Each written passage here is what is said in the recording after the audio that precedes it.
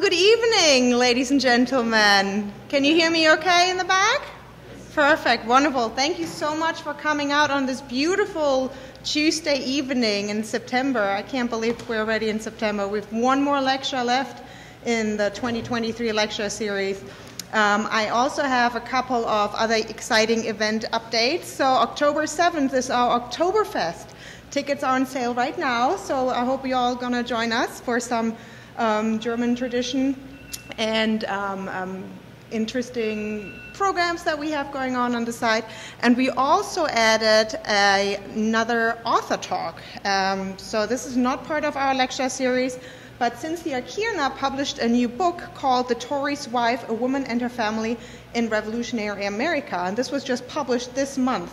So um, we are one of the first locations where Cynthia is going to present her book, and I hope you can join us it's October 24th here at the museum. It starts at 7 o'clock, not at 6 like our typical lecture series. But please come out. Book uh, the books will be on sale, and you can purchase them, and then Cynthia is going to be happy and sign them as well. Um, and then one more lecture is going to follow that in November. Samantha Seeley will talk on November 14th about race removal and the right to remain migration and the making of the United States. Uh, so I hope you're all going to join us for these in, exciting events that we have lined up for you. And without further ado, it is my great pleasure to introduce our speaker today, Dr. Larsen. Um, he will talk about Alexander Spotswood's Germanna, a gateway to colonial Virginia's West. Dr. Larsen brings more than 30 years of archaeological experience to his position with the Germanna Foundation, um, it's historic Germanna now, right? Yes. Yes, they just renamed themselves. Um, he has worked with the National Park Service at Harpers Ferry National Historical Park and for the University of Maryland on sites in Annapolis, Maryland. He directed field work at the Freedmen's and Contraband Cemetery for the city of Alexandria in Virginia. He has taught introductory archaeology classes and trained numerous students through a variety of field schools around the mid Atlantic states. Dr. Larsen has been with the Germanna Foundation, Historic Germanna, for eight years, during which time the Germanna Archaeological Project was born. And um, my colleagues, some of my colleagues and I had the great privilege of visiting Historic Germanna um, later, earlier this summer. And if you haven't been there, I can highly recommend it. They're doing some incredible work. They have several open days throughout the year. So if you're interested in early American history, they're doing some excellent work there. So without further ado, please welcome Dr. Larsen. Thank you. Thank you very much. Um, I appreciate the invitation to come and um, speak about something that I've grown very passionate about over the last eight years. Um, I will admit, when I was hired by, then called the Germanna Foundation, um, I really didn't know much about Germanna. Um, it's not on any maps, in Virginia maps. Uh, so it was hard to sort of learn about it, but I went and learned about it. And the more I, I, read, the more I dove into the archives and the records and the genealogies that are available, uh, the more interesting stories popped out. So tonight is an opportunity to share some of those with you and also to talk a little bit about the shape of Virginia's history um, in a time period that often gets overlooked or forgotten about or skipped over. Uh, we often go right from Jamestown to the Revolution. Uh, in, in, this case, we're going to talk a little bit about Virginia finding its way and, uh, growing uh, in the, in the second century, uh, beginning in the beginnings of the, the 1700s, in the 18th century. Um, just as a little bit of background, the Germanna Foundation, now Historic Germanna, was originally called the Memorial Foundation of the Germanic Colonies in Virginia Incorporated. It's a kind of a mouthful. So we did, they did shorten it down to the Germanna Foundation. We are located right next door to the Germanna Community College, and we oftentimes find ourselves answering questions about, you know, can I change my classes or my schedule, which we cannot help them with. Um, so we decided maybe we should sort of distinguish ourselves a little bit. So we're, we've tried out historic Germanna because that's really what our focus is, is on, is on his, historic sites, but also on the descendant and genealogies of, of the descendant people who were connected with the little community that was once on maps uh, and is now is forgotten. We're working on seeing if we can bring it back to the maps. So we'll see. But this is a little bit of our story. It goes back to the 1950s is when the, the, the foundation had its beginnings. Um, and there's one of the early picnics with a lot of the descendants community who are really sort of the, the, the beginnings and bones of this, this organization that we now, we now serve as, as Historic Germanna. Just to get a little idea about where we're located, we're about halfway between uh, Fredericksburg and Culpeper. I think I can get pointer. So there's Fredericksburg there, Culpeper. This is the Rapidan River or the, the lower fork of the Rappahannock River. And we're located right along a horseshoe bend in that, in that river. Uh, that's the location where historic Germanna once sat. Let's talk about who the players are that we're going, we're going to speak about tonight. Uh, of course, there's an indigenous population that has been part, long, thousands of years, been part of, of this riverfront area uh, in the Piedmont of Virginia. Um, so that's an important player. We also have the English colonists who began, you know, settlements in Jamestown in 1607 um, and began expanding the colony into the Virginia colony that we, we come to now know as, as the state of Virginia, Commonwealth of Virginia. In this case, we also have a group of uh, German speakers. Now, they're not from Germany per se, because Germany isn't formed yet, but they're part of the areas that would become Germany. Uh, we, we often try to refer to them as these German speakers who immigrated to North America and then lastly, we also need to talk about enslaved Africans that were brought or forcibly brought, migrated to uh, North America. Go into those a little bit in more detail. Um, we have here sort of a division of native groups by, by language groups.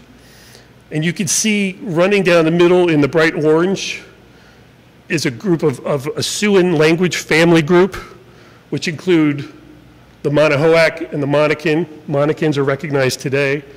Tutelo, Saponi, and Occaneechi as well. Um, those are all sort of a, a, common, similar language group, family group um, of peoples that we need to sort of begin to understand and, and, notice that they're located sort of here in the, in the central portion, that strip of Virginia, the Piedmont. They're, they're the peoples that predominated the Piedmont of Virginia uh, during the 18th century. Here's another map, but this one is a little bit different. This one takes away sort of our, our current political boundaries. Um, and you see a little bit more about where these Siouan speakers really, really lived, and that goes all the way from the, the, you know, the northern portion of Virginia and West Virginia all the way down into the Carolinas on the, on the end there.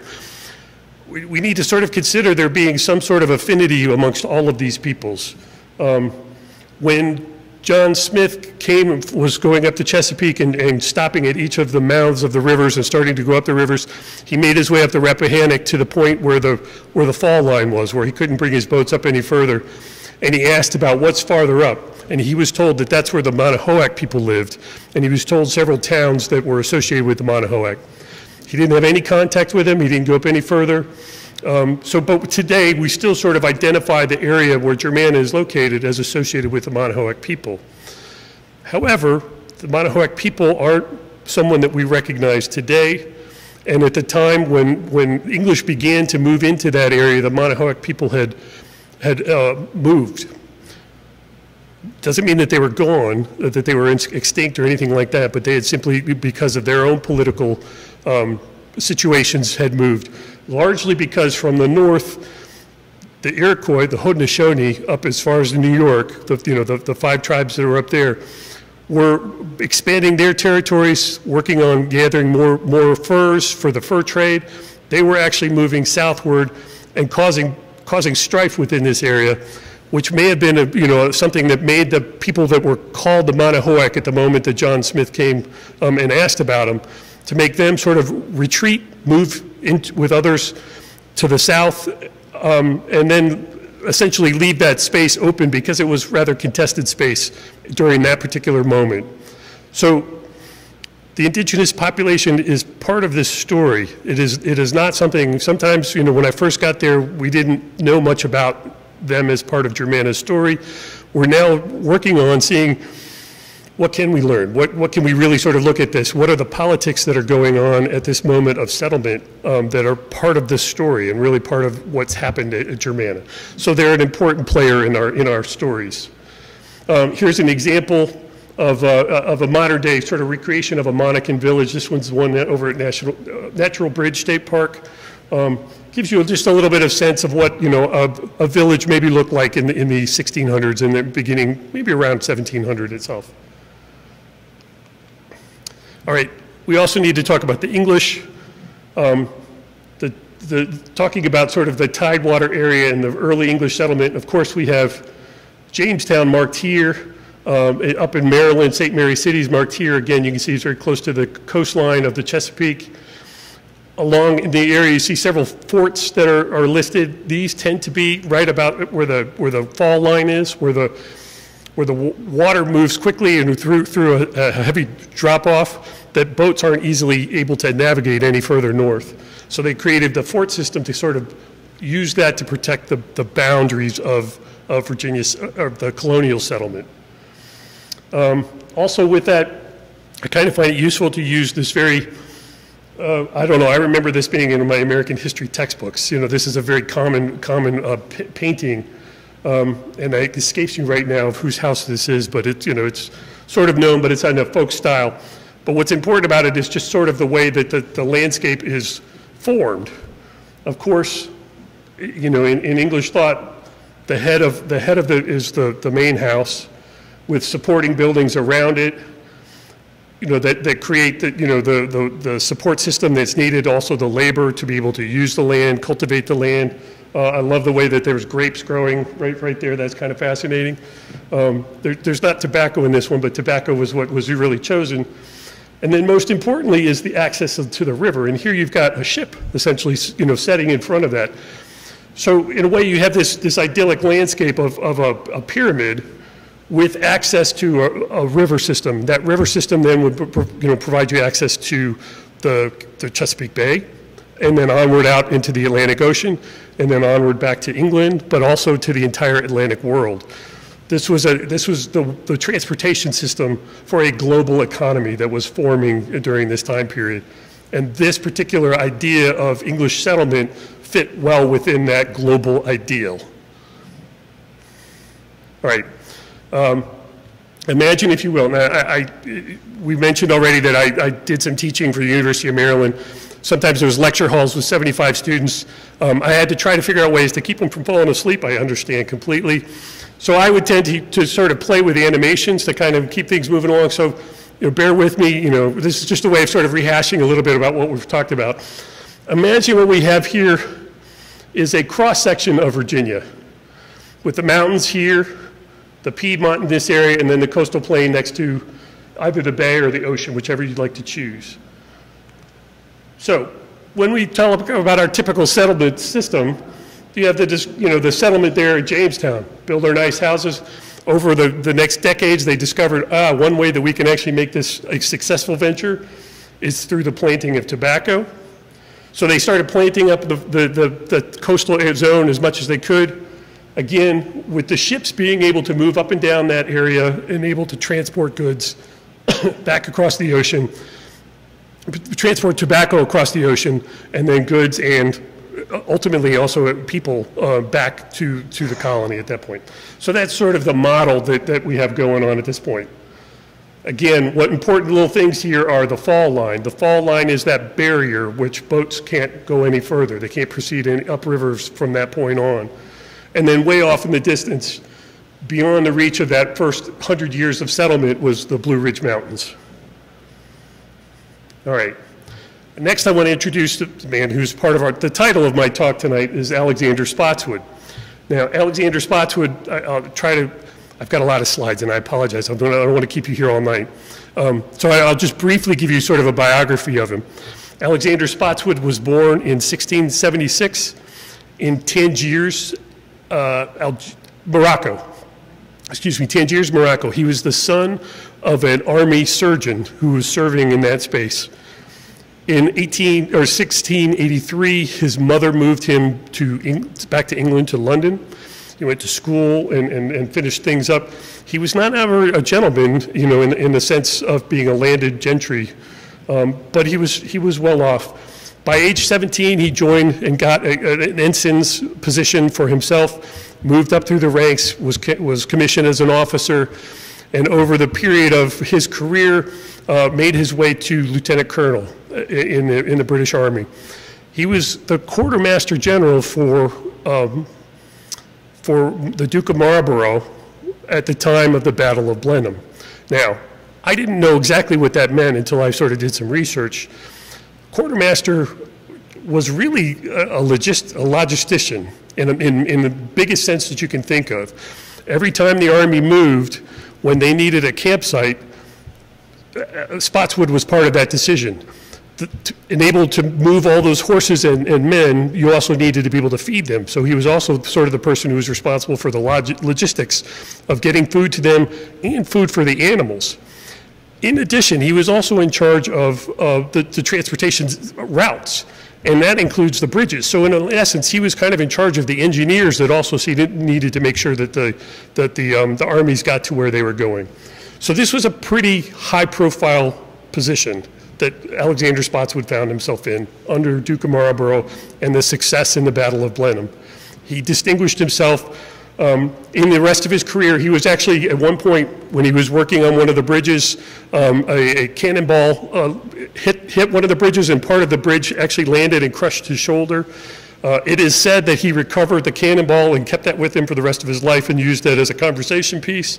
We would love to find that cannonball someday, but you know we'll, we'll see. He, this was an he had an interesting career, but he found himself not being able to sort of advance any further. What he was able to do was he was able to find that, that uh, profile that he gained during, during working under um, the Duke of Marlborough to get a, a position in one of the colonial government systems. He was not appointed governor of Virginia, he was appointed lieutenant governor.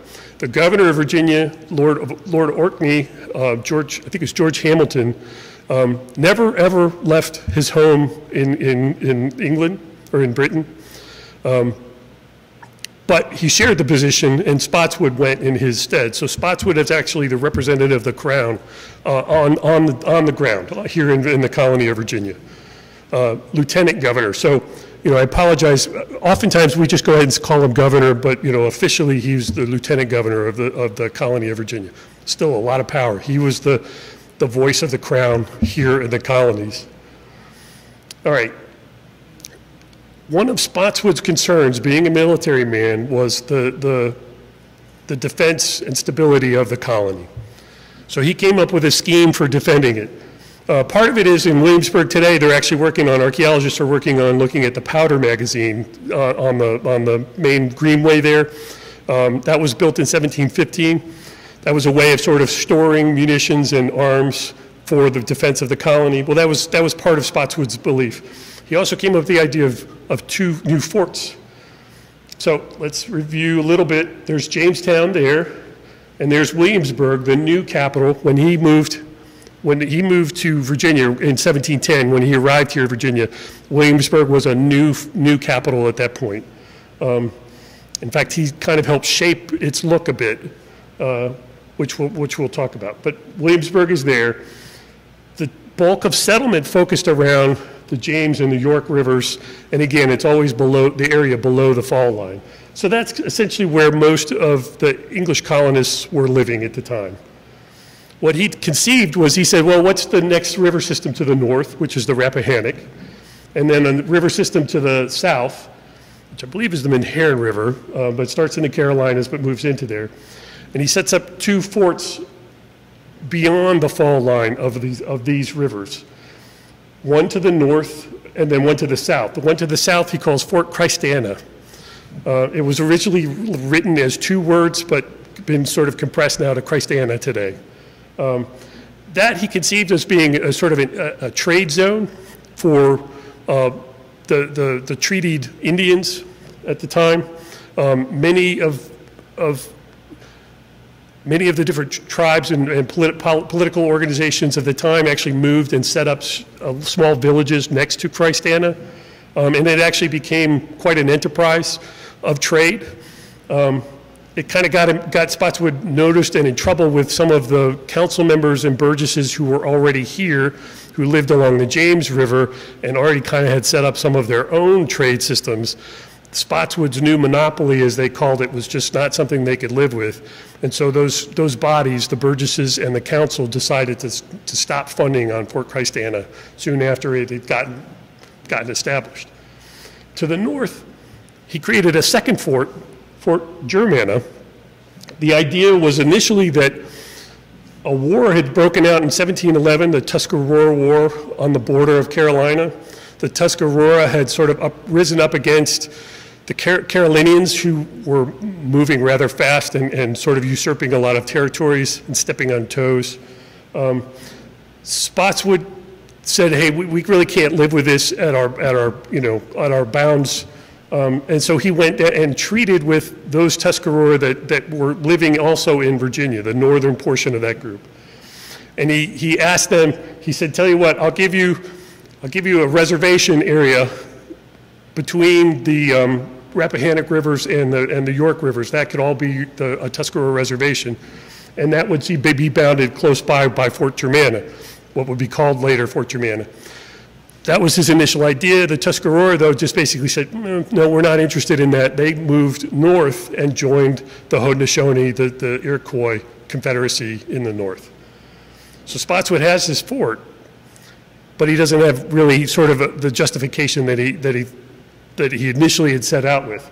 That same moment when all of these things are happening, he gets word from a gentleman he had spoken to briefly um, that he, would, he was sending a group of German um, immigrants, German speaking immigrants, to Spotswood. Uh, and Spotswood had to figure out then what he was going to do with them. They had talked, they had a brief conversation earlier about the, the possibilities of developing a mining industry, of, of mining iron ore. Uh, and so Spotswood knew that that was what was the, the, the juxt of the conversation. Um, but he's still just surprised, had to figure out what am I going to do with this group of, of immigrants that are coming in. He puts it together, why don't I put them inside this fort? We will designate them as rangers so that they won't be subject to the, the normal tithe. Um, he, he would sort of vouch for them, saying, Look, I have all these German Protestants. He was very clear about making sure that he told everybody they were the Protestants. And I'm going to settle them in, in the fort, and they will serve as a buffer there still was a problem in that he was concerned about the French and, and, um, and um, indigenous natives who, who were influenced by the French coming in towards from the west and, and causing problems for Virginia. But then there was a third thing that he considered that, that the Germans might also be a good buffer for. Any escaping enslaved individuals who were moving west to try and create a maroon community of their own would be sighted and, and also sort of uh, the Germans would serve as a buffer for that movement as well. So that was sort of the reason why Fort Germanna came about. Now, many people have sort of suggested Fort Christiana had much more sort of a military um, setup to it. It was a five-sided fort, and each of the corners had a bastion. Spotswood provided each bastion corner with an artillery piece so that it was a much more militarized system set up there. It was never attacked or anything like that, but they were just sort of better established. And inside of that fort, he had colonial rangers, soldiers, uh, who, who lived and occupied the fort. It wasn't true with Germanna. Germanna had a, a fort with, with palisaded walls, but what they kind of talked about most was a sort of a central blockhouse, uh, a, a protective defensive structure. They didn't have but two guns. He provided him two guns, and he kind of just said, well, that'll, that'll make enough noise that'll scare anybody who's moving around in the distance. Um, so there wasn't sort of the same military setup for Germanna. And so people have often asked, well, you know, Germanna really was just kind of a boondoggle. It really wasn't for anything. I kind of suggest to you, I learned, I learned this from his Civil War historians, actually, uh, that there is a really valid reason to put a fort where, where this was located. To the west, you have the Blue Ridge Mountains a natural barrier. To the east, you have the significant channel of the Potomac River. That creates a constriction in Virginia that's only 40 miles wide. That in, in, the, in the Piedmont, some of the Piedmont is hundreds of miles wide when you go farther south, but the Piedmont here is only that 40 mile uh, distance. Germanna sits right at the center of that 40 miles. So any movements of peoples, uh, natives, anybody moving north and south would probably kind of come in contact with, with that fort. That fort is sort of centrally located to be in a very strategic point. It's also along the Rappahannock River, which is just another natural east-west transportation route. So kind of think of Germanna as sitting in a big X, north-south and east-west. Germanna is, is very opportunistically located. And our friend uh, Alexander Spotswood, Lieutenant Governor, actually himself rode out and chose this spot, just like he did with Fort Christiana. He also chose the, the Germanna Fort location as well. And there is a there is a solid reason to have a fort there. It was it was sound thinking on his part. All right, so let me go back to my, my animations again. So now we've got you know settlements in, in, in Jamestown, but also the entire tidewater starting to fill up. There's still that barrier with the fall line. We have Alexander Spotswood himself making a journey, finding a proper spot along the Piedmont, and then setting up a fort. That's essentially what his idea was, is starting to move Virginia westward. And the first buildings that you need to put up are, are defensive structures like a fort. That's our symbolic foothold, toehold for uh, movement westward. You, you had a question there.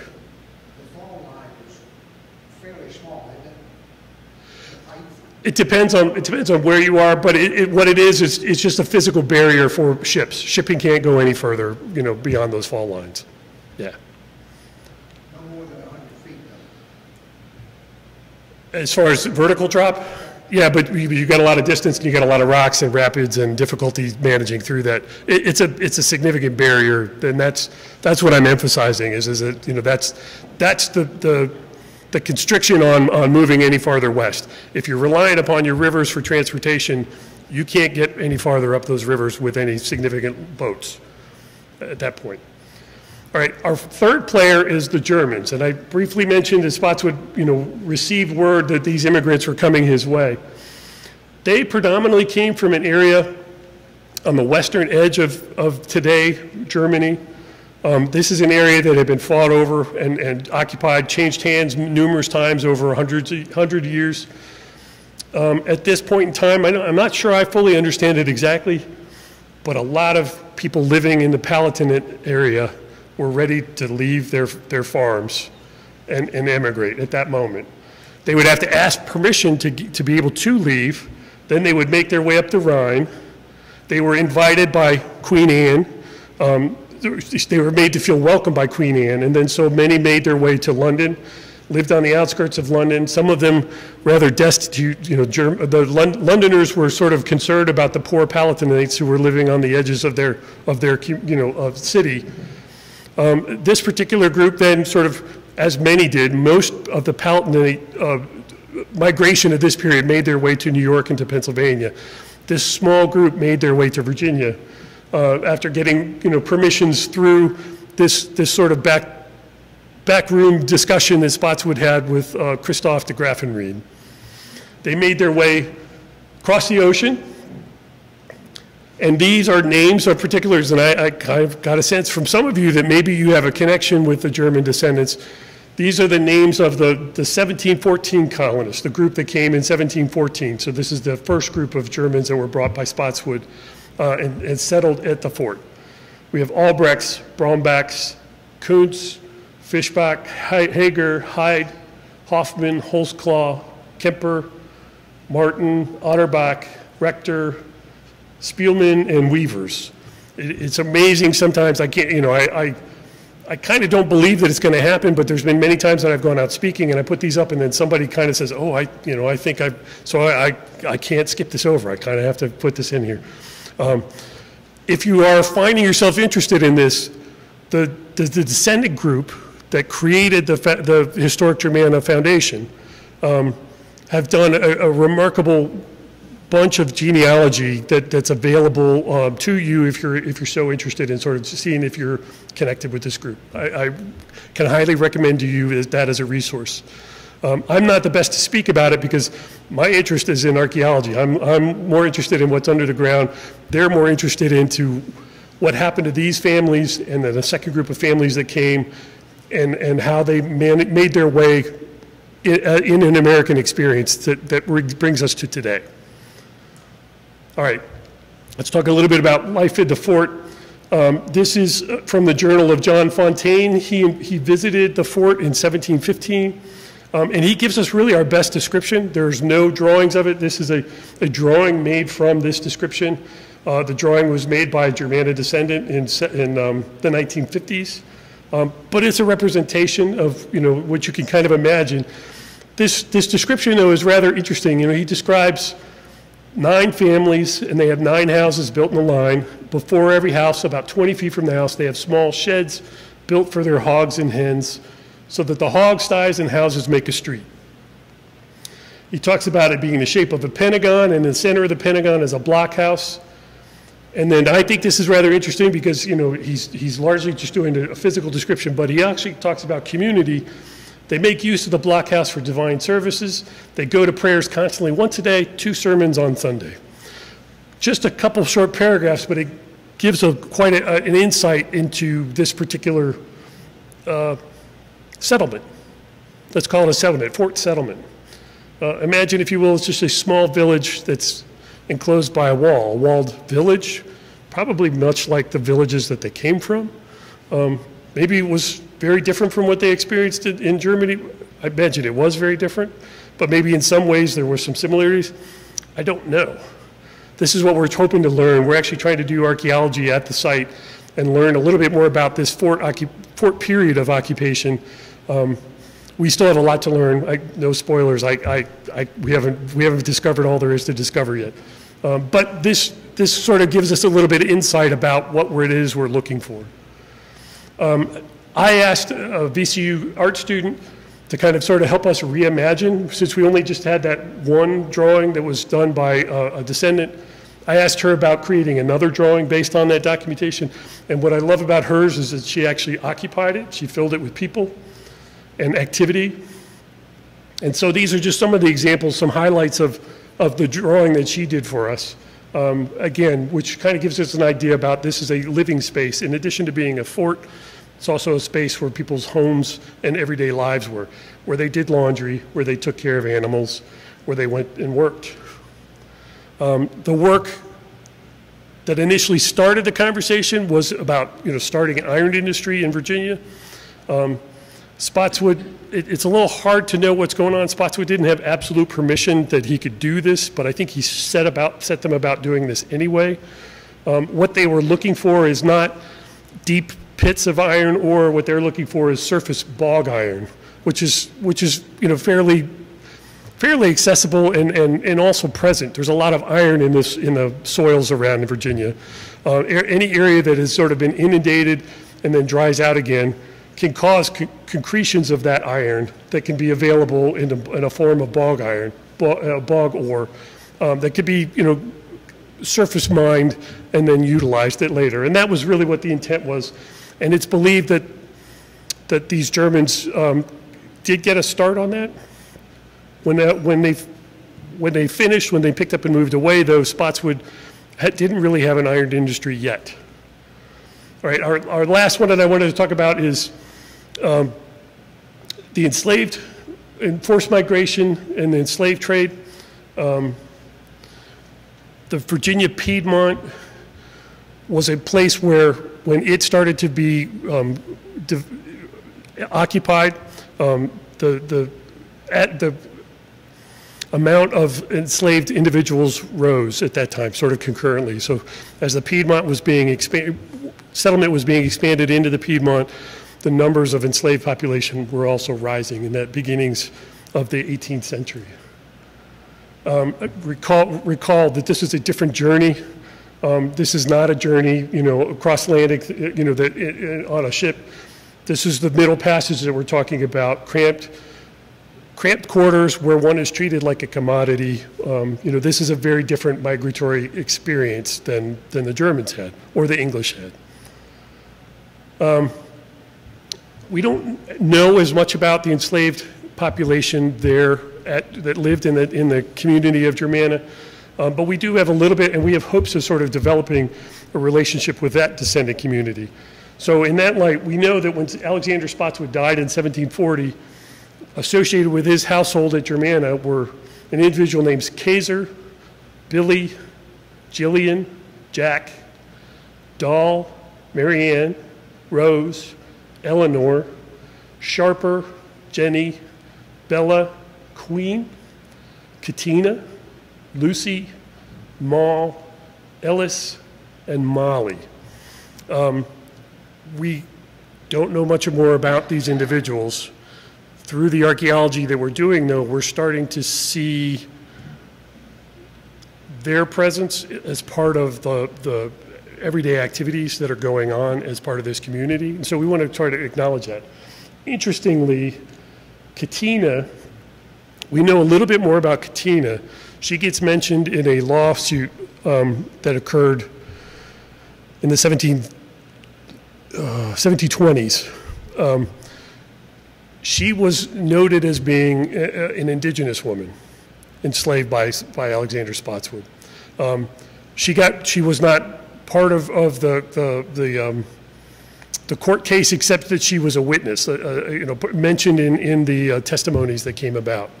Um, so again, we learned a little bit about her. Plus, we now realize that in addition to enslaved Africans, there's also enslaved indigenous people who are living and working within the household of Alexander Spotswood. Um, interesting and, and something that we, we want to pursue more. We now sort of have to consider that in recovering artifacts that are part of that household, we need to consider that part of that household was an indigenous presence as well. All right, all that's to say is colonial Virginia at the start of the 18th century was a place, I'm going to call it, of cultural entanglement. There's a lot going on. There's a lot of intertwining of peoples and stories that are taking place in this environment. People are living very closely, people are relying on each other, people are taking advantage of each other. There's a lot going on in this particular space. It's not just about Alexander Spotswood, it's about peoples. All right.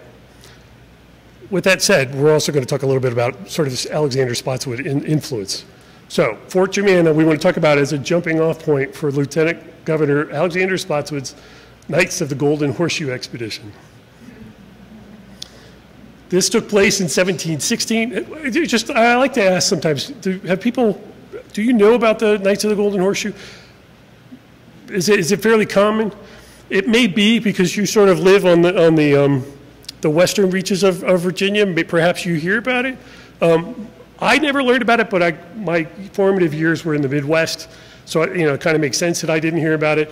I don't remember my kids who grew up here in Virginia, I don't remember them sort of learning about it. It was always like Jamestown and the American Revolution. They didn't talk about this in between very much. So I'm just always curious. This is just something I didn't know anything about. Um, but there's a lot of interesting story to go along with it.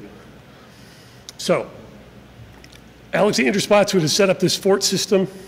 I told you about some of his concerns about the French. Um, this is a map that was they believe was done sort of, you know, working sort of, it's a little bit of propaganda for Alexander Spotswood. This is a map that was created in probably around 1715. Um, Germanna is actually located on the map, which is unusual because there wasn't much of Germanna at that point. It was only that small 300 foot per side palisade area with nine houses in it at the time nevertheless, it makes it on this grand map of Virginia, Carolinas, Maryland, and New Jersey. Uh, note also up here in the upper corner, it says Erie, Erie Lake. There wasn't a great understanding at this particular moment about where the, they knew that the Great Lakes were there and they knew what they looked like, but there wasn't an understanding about what their relationship was.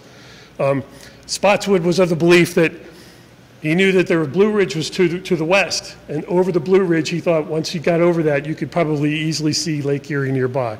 And this map sort of reflects that. The important thing about Lake Erie is, is the Great Lakes were controlled by French. So that means the French are close. Spotswood is very concerned about that natural barrier, the Blue Ridge Mountains, that the English need to gain control of that Blue Ridge before the French do, because that's a barrier that's going to allow one side or the other to, to control space around them. So Spotswood conceives of this idea. He learns that previous ex expeditioners, uh, out, outback specialists, had gone and found passage over the Blue Ridge. Um, he decides that he wants to put together an expedition and sort of prove this for himself, and also to lay claim to the Blue Ridge before the French get there. So he comes up with this idea, and, and they decide to use Germanna as a jumping off point. So I like to talk about five days in August of 1716 as sort of a microcosm for this world of cultural entanglements that I just talked about. So imagine you're the German family, you've lived the, at the fort for almost two years, um, probably mainly speak German. There may be some other individuals around who don't speak German, but probably every day you speak, speak in German. There's probably not a lot of people around you. There's probably just a lot of work to be able to keep your daily life washing clothes, cooking food, those sorts of things, um, uh, keeping the house up and make, maintaining fence lines, all those sorts of things that are sort of necessary for, for survival. Um, you probably kind of got down to a pretty much of a routine. Well, imagine, and I like to, to let people, I like to sort of guide you a little bit to think about, think of yourself as like a small boy or a small girl. You choose which one you'd like. One of those children that were there, because there were families that went and were living there. Imagine yourself as one of those children, and out of the woods one day you see several bewigged gentlemen show up. There's about 14 of them, gentlemen who were sort of listed as part of the expedition. But they weren't alone. Along with them came servants, some of them enslaved Africans, some of them indentured servants, probably different languages being spoken, but nonetheless a bunch of, of servant class that went along with the gentlemen who were on the expedition. But that wasn't it. Then also two companies of rangers came out. So these are essentially colonial soldiers. A company is six men and an officer. So that's about 14 individuals that come out of the woods. And I, and I kind of imagined that their demeanor and their, their language was a little bit different than the gentlemen who were, you know, who were wearing the wigs. And then lastly, come out of the woods are four Meherrin guides and all of them meet and convene at, at your settlement, in your little palisaded village. It more than doubles the population in a short period of time. They all meet and converge there for five days. The goal is to, you know, to, there probably wasn't space to set them all up, so they probably set up their tents, and the goal was to shoe horses for the expedition. Apparently, in the tidewater, there's no rocks. So you don't need to put shoes on your horses.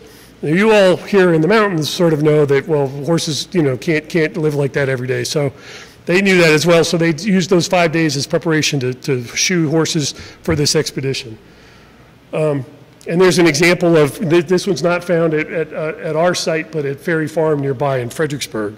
Uh, but that's a, that's a horseshoe from the, the same time period, or relative, around the same time period. Um, again, with all this activity going on, campfires around, cooking going on, different languages being spoken, imagine again, I, I asked you to imagine yourself as a child there. What do you think just happened? How would you interpret what just happened?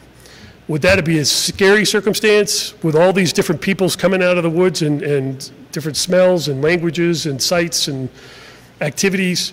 Would that be a scary moment? Or would it be just like the circus came to town? I imagine you could probably go either way on that. You know, there's, but, but that moment, those five days are a period of, um, of interaction amongst all those different players that we talked about initially. So again, I like to sort of emphasize those five days are a bit of a microcosm for the story of Virginia's westward expansion at that moment and also sort of a, a that colonial frontier backwoods experience. Um, it's, it's a life in proximity. It's a life where one has to sort of get used to another, uh, different than yourself. Um, that's, that's the experience. Um, it's not all about, you know, rough and tough wrestling bears and things like that. It's also about learning to live with people who aren't, aren't what you think or what you're used to, different cultures, all those sorts of things. On August 29, 1716, the expedition departs Germanna, heads west, and we talked about this a little bit. Somebody was asking about what, what we think the, the, the route was. Uh, it's really believed that, um, oh, I'm drawing it, Swift, Swift Run Gap is the most likely crossing that, that the Spotswood's Party expedition made.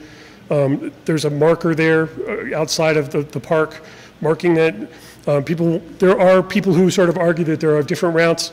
I think that the bulk of people who really study this, have studied this, sort of think that the Swift run sort of makes sense compared to the, the diary entries that were made uh, along the way. there's just an example. They made their way over the mountains, crossed the river, crossed the Shenandoah um, into the valley, where, where you know we now experience things today. Uh, they wasn't much talk about it, but I, I, apparently they probably saw the next the rest of the Appalachian Mountains that were in the way. I don't think they talked about the Erie Lake, you know, showing up in this, but they celebrated nonetheless.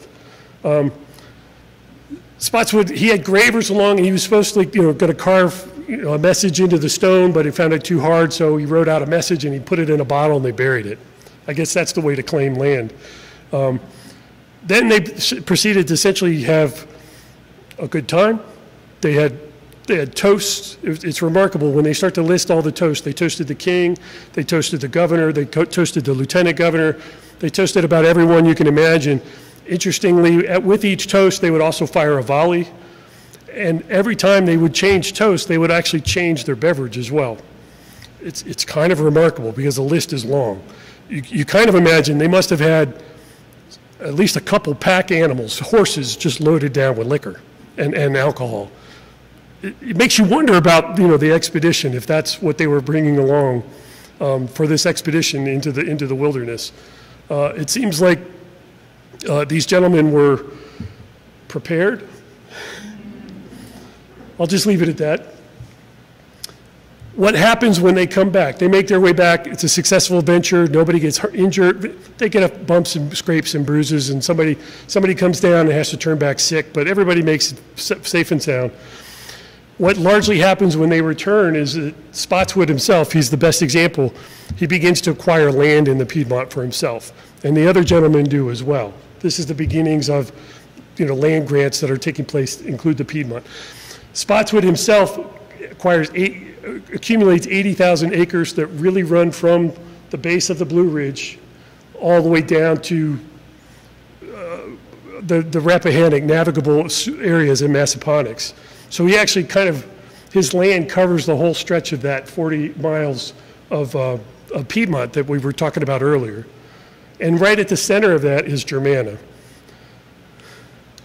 So he chooses Germanna as, a, as, a, sort of, as sort of the center of his land operations. And he builds himself a house there. Now, I neglected to talk about while Spotswood was governor in, in Williamsburg, he was the person who oversaw the completion of the governor's palace. And many believe, you know, many talk about his influence over the governor's palace. Many blamed him and accused him of cost overruns uh, for the governor's palace. He finishes up around 1720, 1721. Um, people kind of consider it a boondoggle and, and really kind of lambasted for it, but at the same time, many of the Virginia planters start building houses that reflect many of the ar architectural designs of the governor's palace, the Georgian style of architecture, that sort of thing. Um, Spotswood is ousted for the governor's his position in 1722, but he's already got this land acquired, you know, out in the, on the, in the Piedmont, including Germanna. He already sort of has ideas for this house that he's going to build of his own. Imagine, if you will, that he builds almost a second governor's palace for himself at this little community called Germanna, where the, where the German settlers once had been, were first settled. This is just a, we don't, this house no longer exists. It's nothing but ruins. Archaeologically, it was studied by um, state archaeologists, but also the University of Mary Washington uh, for about a 10 year period. They, we've learned a bit about the house, but everything we know about it is from the ruins. A colleague of mine, Mark Trickett, Dr. Mark Trickett, actually kind of has set up a little bit of a, a 3D model based on the plan views that we've created through archaeology. And this is just sort of a visual representation of sort of the, the scale of the house. We're, we're going to work on it and see if we can make it a little bit clip better based on what archaeological materials we have. But it's a, it's a representation a little bit about what Spotswood built for himself out on the edge of settlement, on the edge of, you know, in the, in the backcountry. All right, get back to my little story again.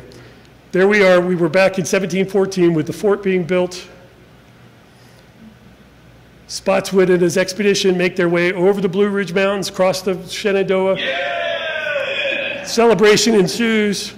They turn around and make their way back and what does the Spotswood decide to do? But he decides to sort of settle in, in as British a way as possible to start creating estates for himself, but also for his friends who went with him in the Piedmont at that point. Spotswood's mansion there came to be known as the Enchanted Castle. I don't think he called it that himself. I think people who didn't like him sort of said, oh, that's Spotswood's Enchanted Castle, sort of tongue in cheek, making fun of it. Um, but that's what we know it as today. But that was begun around 1720. All right, so think, think about this world of living in a fort. Everything was sort of a wooden world. And so that's kind of what I have examples of here. Hewn, hewn wood. There's both broad axe and adze down here. Down there is the, the the 14th century engraving of, of drilling done by hand with augers. And there's some, almost, these are medieval tools, uh, but those would have been sort of the tools that would have been very useful in that fort world. Spotswood changed that all of a sudden. In 1720, when he starts to build, he, he wants to build out of brick, which involves brick molds, drying those bricks, stacking them up, and firing those bricks. Those are all done on site for, for his house. And there's, there's must be hundred thousands of bricks that, that were needed to build this house. He also used Aquia sandstone. Aquia sandstone is the source of sandstone that they used to build the, the Capitol building. Um, he's very early adopter of it. In fact, his land actually, you know, included some of the uh, uh, quarries for Aquia sandstone. And there's an example archaeologically of some of the ornamentation that was, came from the Enchanted Castle. And you can see, you know, it, it's the detail of, of wood, woodwork, uh, wood, wood um, trim work, but done out of sandstone. That's, that's, that's not the wood world that we were talking about before. And then lastly, recovered at the site back in the 1980s was a fireback. This one today uh, is at the Virginia Museum of History and Culture in, in Richmond. Uh, but it was recovered from Spotswood's home. Uh, very elaborate cast fireback. It's believed that this was cast in the furnace that Spotswood, after the Germans had sort of left, he was able to begin an iron industry centered out of his sort of home in, in Germanna. The furnace itself was about 13 miles east of Ger- Germanna, so it wasn't directly part of our, the property where, where Germanna sat, but it was part of this larger holdings that Spotswood had created for himself eh, in the 1720s. And, and again, craftsmanship being introduced to that, that out, uh, the, the frontier world, essentially. Uh, Just some examples archaeologically of, of what we see of the Enchanted Castle. It may not look like much, but I'm hoping to convince you that it is rather exciting. Um, This was dug back in the, in the 80s and 90s. This is a, this is an exit out of the basement. This is a, a, a set of stairs here that led down to a arched tunnelway that went out probably to a cistern nearby. So it was a way of accessing water without actually leaving the house. Um, Again, you could see sort of the specialization, the craftsmanship that's involved to create something like this. This is not your typical yeoman farmer's house. Ourselves, in the project we've been working on in the last eight years, uh, we found the, the front walkway to the Enchanted Castle, and that's it here. There's a course of, of guard bricks sort of marking the edge of it, and then there's the herringbone pattern bricks that are set beautifully even today as we uncovered them. And then there's a large sandstone here. Um, Note, this is essentially, you know, this stone is kind of located here, but note, you can kind of see the tool mark still in that sandstone block that's right there. Again, this, this is sort of marking the craftsmanship that's involved. However, uh, while we're talking about a grand home, also think about the three, the three, you know, examples that we have here. The tunnel in the basement of the house, that was not the space that Alexander Spotswood used himself. This was a workspace. The front walkway probably was not used by Alexander Spotswood as well. The front walkway went along the walk-in area to the, the basement work areas of the house. These areas, as elaborate as they are and sort of as representative of, of fancy architecture that they all, they also represent the lives of enslaved and servants who worked at Spotswood's household. The things that we find associated with these spaces are part of those lives as well, and we're trying to tease that apart in our archaeology right now. Uh, That's part of the story of the Enchanted Castle as well. It's not just about Spotswood, It's about that larger community. You can't have a craft world, a craft-led world without people to, to do that labor, without the skills, without the hands, without the muscle and sinew, sweat, blood to, to do all that work. So that's part of the consideration that we're, we're taking as we're looking at this grand house. Uh, here again is sort of an example. The archaeologists first kind of came up with a, a drawing, a map on the ground of where they found the ruins of the house. Uh, Carrie Burrell, Dr. Carrie Burrell, did her dissertation on the house, and she created sort of a, a front representation of what we believe the house may look like. And then I told you about Dr. Mark Trickett and his creating a 3D rendering. Now, I, I kind of like this photo because it, it represents about three decades of technology, of archaeology, moving from uh, 2D maps to sort of a, a, a again, a two-dimensional but a representation of a, of a space to now sort of three-dimensional modeling that we're trying to use uh, in a way to be able to, to share our findings with, with people. All right. The time. The Germans didn't stay, I'm, I'm going to try and go through quick. The Germans didn't stay. They were indentured to Spotswood for four years, the first group. And at the end of the four years, they said, thank you very much. They picked up, asked for the lands that, that they were owed to, to do at the end of their service. They picked up and went to those lands.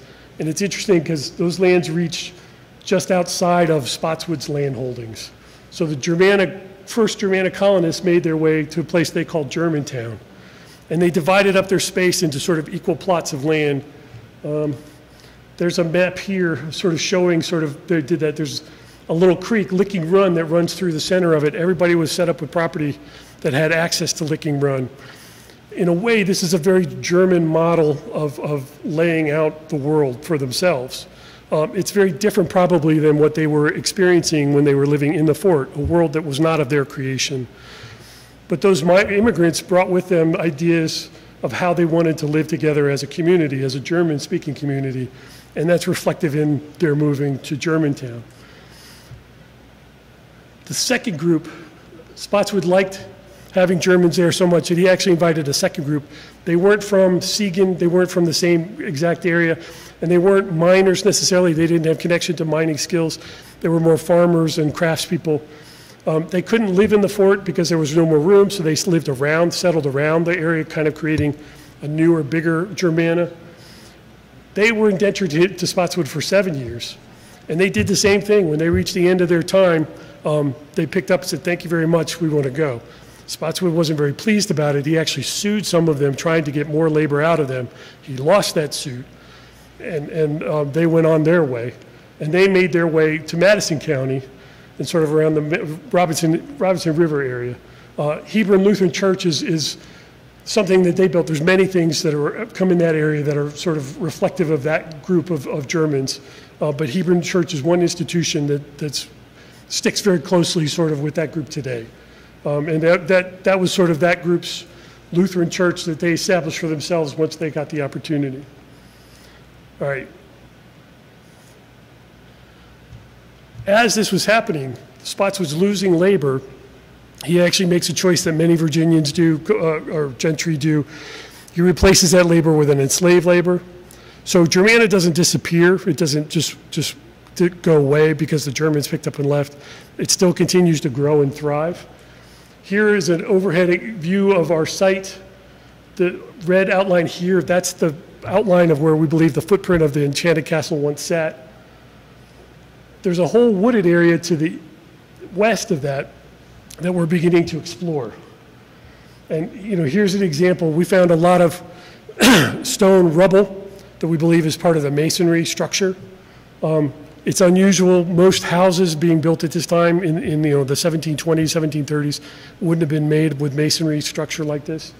So we're exploring it further. Here you can see the, the wall fall actually looks to take a little bit more shape and form in this particular example. We believe that this may be the county, the first Spotsylvania County courthouse. So when Spotswood left um, the, the lieutenant governorship, they organized a, a new county and they named it after him, Spotsylvania County, named after Spotswood.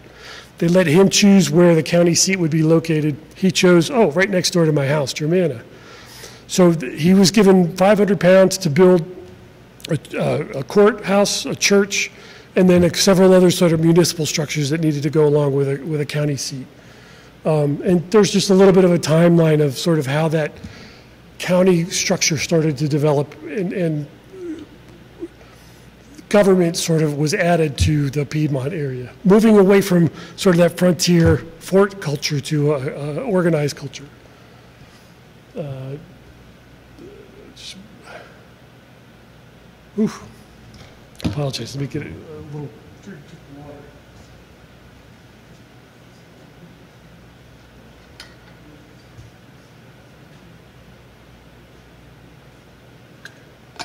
What I want to talk about here, just briefly, is um, this community was part of a path of westward expansion. Many peoples who were moving into the Piedmont, moving west, moving over the mountains, down the valley, came made their way past Germanna at that point. Um, there's another example. This is LIDAR data that gives us an idea of what the ground surface looks like below the tree leaves and canopy. And note, there's this little cut here. That's a roadway that's been there for a long time that many, many travelers have made their way to cross the Rapidan at a, fer- at a ferry crossing, or it was called Germanna Ford. It was a natural crossing as well. Many, many people moving west use this road. All right, so we had a story of Alexander Spotswood as a colonial governor. Looking at Germanna, we're also talking about Alexander as, as a Virginia frontiersman. Now, I apologize. Maybe you've kind of gotten the idea that I can be a little bit cheeky.